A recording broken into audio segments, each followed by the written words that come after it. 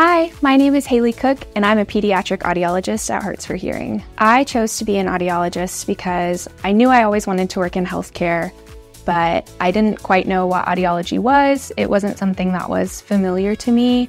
I came into the field of communication disorders because I wanted to be a speech pathologist. And then, as a part of my coursework, we had to complete some observations.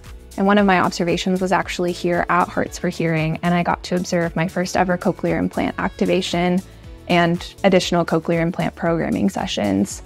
That experience here was one of the key experiences that changed my trajectory to pursue audiology instead because I was just amazed that there was this field that could help people to hear and communicate with their loved ones and just the change that people could experience in their communication based on the technology that was available to them. And so I loved this intersection of technology and healthcare.